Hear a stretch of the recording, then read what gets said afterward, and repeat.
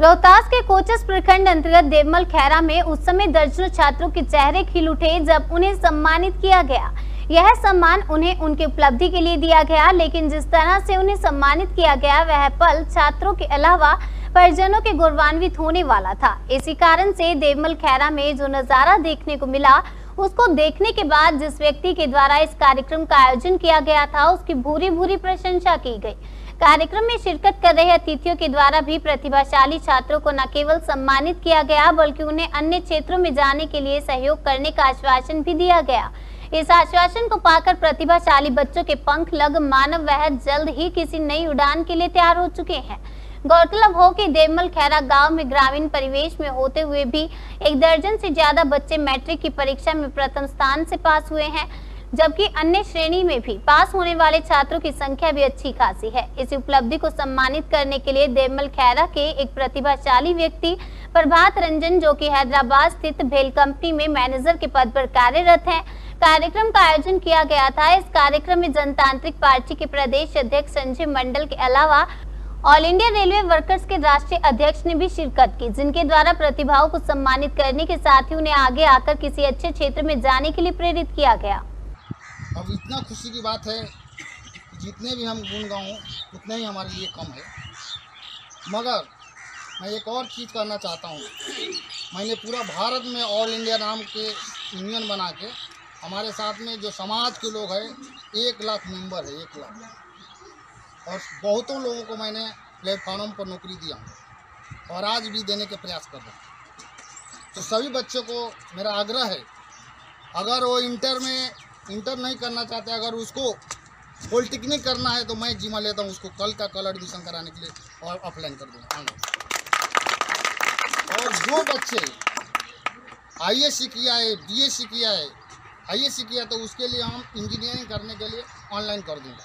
आप लोगों को एक पैसा खर्चा देने की ज़रूरत नहीं, एक रुपया खर्चा नहीं लगेगा। सिर्फ़ बच्चे का यूनिफॉर्म को देना पड़ेगा और जो उसका होल टिकट के लिए फार्म भरा रहता है उसके लिए एक हज़ार रुपया लगता है। ये आप लोग उठाइए, बाकी बच्चों को हमारे ऊपर छोड़ दिए जहाँ पर सर हैं, आज सर से मेरी, हमारे यूनियन के सलाहकार हैं, इन्होंने हमको बहुत से मदद करते हैं, जैसे कि आप लोगों के आज मदद करने के लिए हमको बुलाया गया। आपके स्वागत के लिए।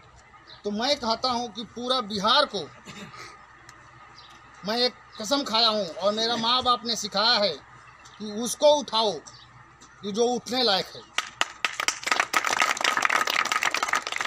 साथियों मैं ज़्यादा कुछ तो नहीं कह सकता हूँ, मगर इतना ज़रूर कहता हूँ कि रोहतास जिला के कुछ भी ऐसे प्रॉब्लम हो, बड़े से बड़े हमारे पास डेमोक्रेसी है।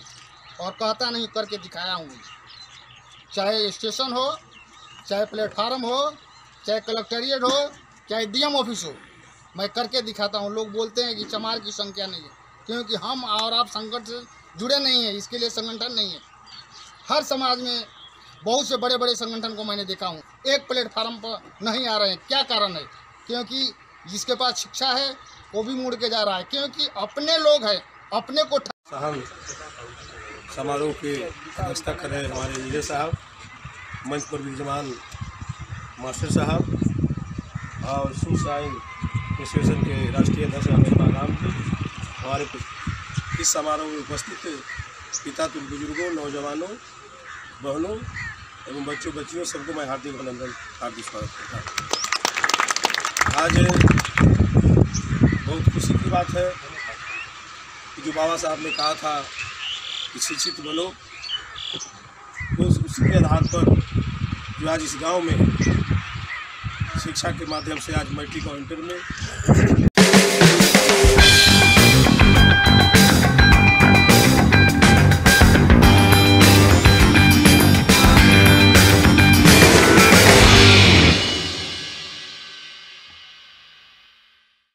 जयनगर थाना क्षेत्र के गोहाल से आरपीएफ व जयनगर पुलिस ने संयुक्त रूप से ट्रेन से एक महिला यात्री का बैग चुराकर ले जाने वाले चोर को गिरफ़्तार किया है। चोर के पास से उक्त महिला का जेवर सहित हज़ारों रुपए का सामान भी बरामद किया गया। आरपीएफ इंस्पेक्टर जवाहरलाल ने बताया कि कल 10 बजे एक व्यक्ति शशिकांत गुप्ता उनके पास आया और उनसे बैग चोरी की शिकायत की। हालाँकि इससे पहले उक्त ट्रेन में सीट नंबर 2930 पर सफ़र कर रही दीपिका गुप्ता ने ट्वीट कर इसकी शिकायत की थी। उसी ट्रेन पर गोहाल निवासी उमेश दास भी सीट नंबर 27 पर सफ़र कर रहा था। कोडरमा स्टेशन पर उमेश उक्त महिला का बैग लेकर गायब हो गया।